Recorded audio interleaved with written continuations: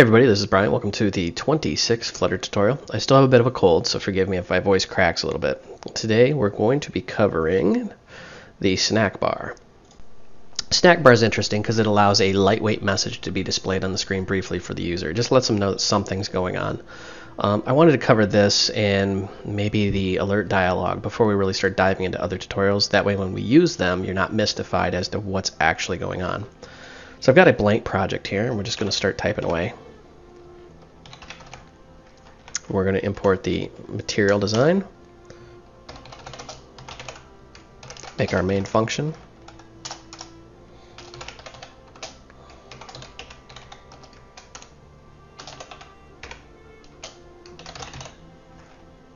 We want the stateful widget.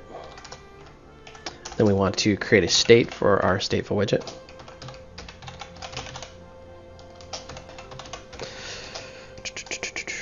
I always ask, why do people like watching me type? It's so much easier just to say, hey, here's a finished project and look at what we've done. But um, people like watching me make mistakes. I guess it makes them feel a little bit better because everybody makes mistakes. Um, and a couple people have said they like listening to my thought process and how I get from point A to point B. Um, and I get that because sometimes I walk into a application's code and I'm like, what in the hell is this? All right, so we're going to make our new material app and we're going to say home equal new. You guessed it, my app.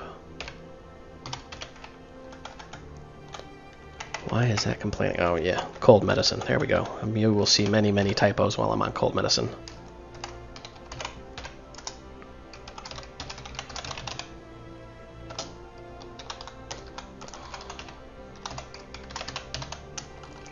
Point in case. Can't even type create state here.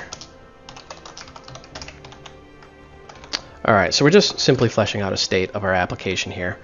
Um, we need a state because, well, we're pretty much going to have to need one for almost every application we do. Um, every time you interact with the screen and you're going to save some sort of data, you got to save that in the state. So first thing we're going to do is create our variable here.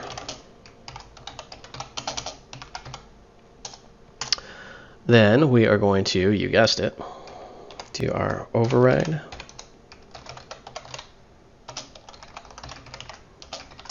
And this is kind of just boilerplate at this point. We've done this a couple times, actually 25 other times.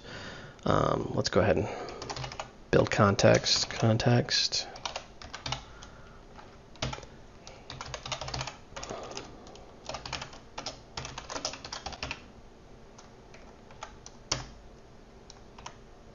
There we go. So we've got the bare bones of our application here, and we're going to flesh this out. Now, really what we're going to have here, once we get this going, is we're going to have an app bar followed by a text box followed by a button. And when we click the button, the snack bar will appear down at the bottom. So let's go ahead and actually build out this application. New app bar.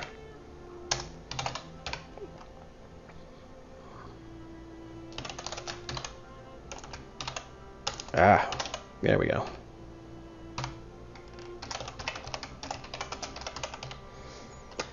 Hate having a cold. It's like I'm like here, but I'm not here, and I think I'm doing the right thing, and then I'm not. Like the other day, I went to make toast, and I put the bread in the refrigerator and stood there for like five minutes waiting for it to get toasted, and then it occurred to me it was just getting cold.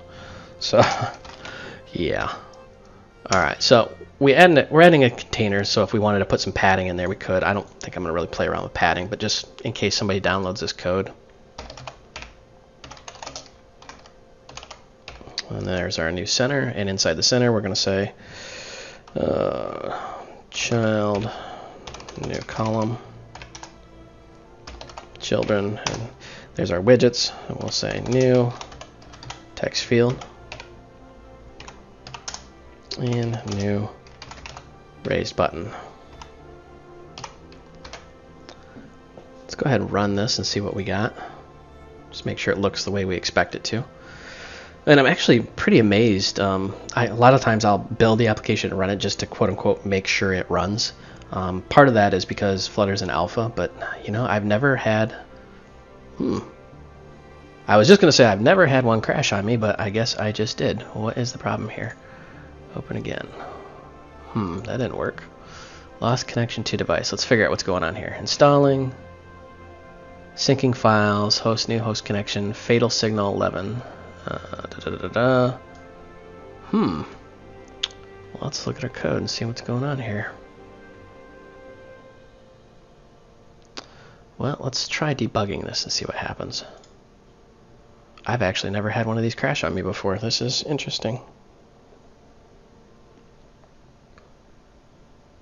Hmm, of course now it runs. Interesting. Wonder why that crashed. It is working. Alright, well, let's just kill it and rerun it.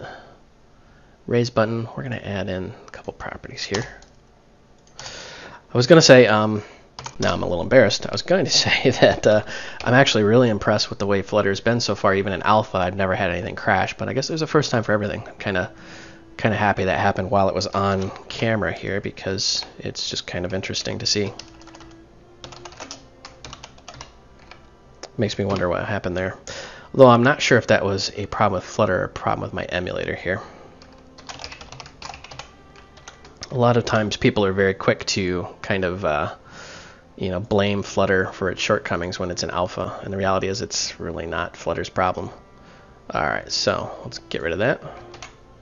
want to run this one more time just to make sure. Apologize for the delay, but that made me a little nervous that it did crash. It's working. Alright, well, we'll just continue on then. Um, if you're new to mobile programming, don't get discouraged by that. I've worked with React Native before, and it is a little glitchy at times. Um, I'll write code, and I swear that it'll work. I'd bet my life on it, and of course, it doesn't work. It crashes, and then I have to figure out some weird error message. It's just kind of the state of mobile programming at this point. So the first thing we want to do is actually track that variable. So, yeah, We're going to do that through the set state.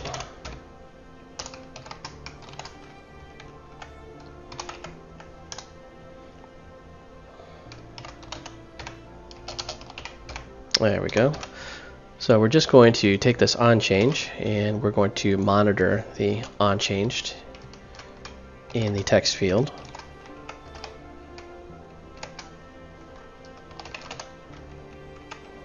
Whoops, better put this in here. There we go. So when onChange is triggered in the text field, we're going to pump out that variable to our onChanged value.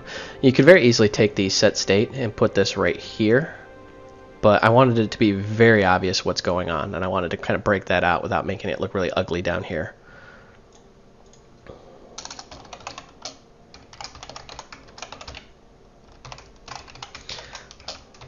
Alright, so we're going to show the snack bar in this one. To do that, we have to add a little bit of magic here. And this is going to take a little bit of discussion. And admittedly, I'm not an expert in this either, so this is kind of the blind leading the blind here. We need to make what's called a global key. And you see how it's a generic type. So it's global key extends the state of a stateful widget. So we're going to say global key of the scaffold state. And we're going to call this scaffold state.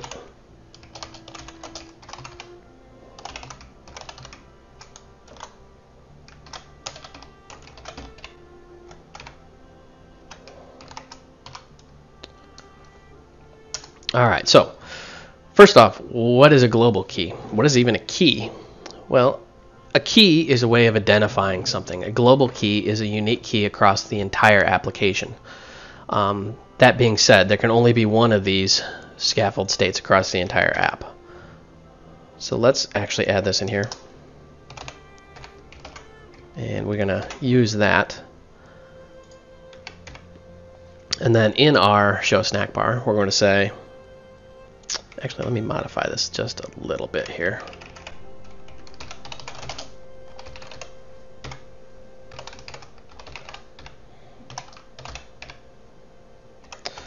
We don't want to show a blank snack bar here, so if it's empty, then we're just going to get out of there. All right, so we're going to say scaffold state, current state, and then we're going to show the snack bar. First thing it wants, of course, is a snack bar. So we're going to say new snack bar. and then we've got some content in there. And I'm going to break this down a little bit so it's a little easier to read.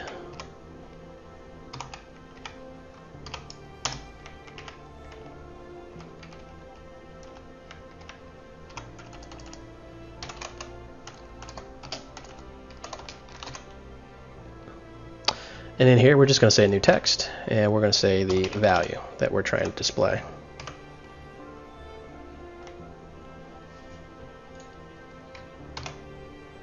Let's actually put this on the same line there. There we go. And then on here, when we press the button, we're going to say show snack bar, and we're going to use that text variable that we're holding in state. All right, let's run this out.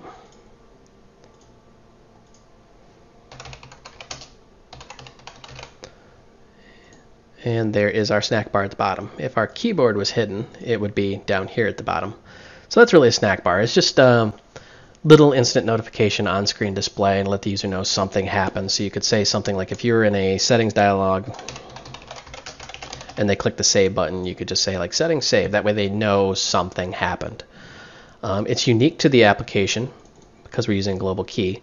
So I believe, I haven't tested this, but I believe that if we were to use the navigator and switch from one screen to another, that state would, or that uh, snack bar would still show up.